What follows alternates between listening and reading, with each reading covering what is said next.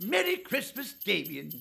You have to be good for your mummy and daddy this Christmas if you want to get some nice presents. I hope that I shall be seeing you very soon.